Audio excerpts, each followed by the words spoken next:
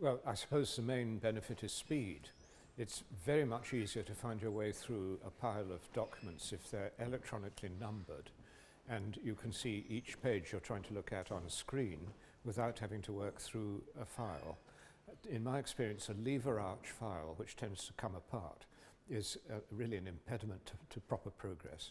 But when you've got a system which is electronic, uh, it's so much easier to work with.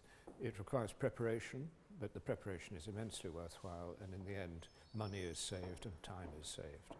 The technology that we're working with now moves so fast. Uh, computers are doubling in power every year, every two years or so, and things move on, move on, and we, people have got to be aware of uh, what the up-to-date systems are. So this kind of conference is really essential for any law firm that's really trying to keep itself up to date. And I think today the presentation has covered a lot of areas and is extremely worthwhile.